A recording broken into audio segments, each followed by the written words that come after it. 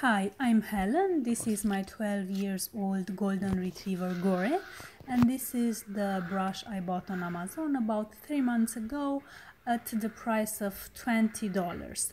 From what I saw today, they, the brand has even a better price. So, Gore, as you can see, is really pleased with uh, what I bought. I am really pleased because it does the job it was supposed to do.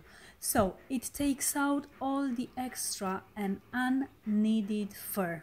It is really helpful the fact that it has a fur eject uh, button and a very good quality storage bag.